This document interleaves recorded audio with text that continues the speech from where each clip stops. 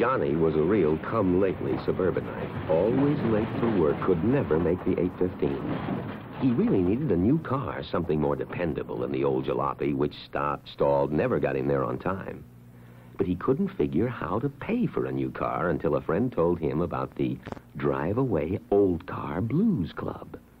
You join it by going to Chemical New York. Simply tell the man the car you would like, and Chemical New York handles the rest. So Johnny joined. And sooner than he expected, the man at Chemical New York handed him a check to pay for his car.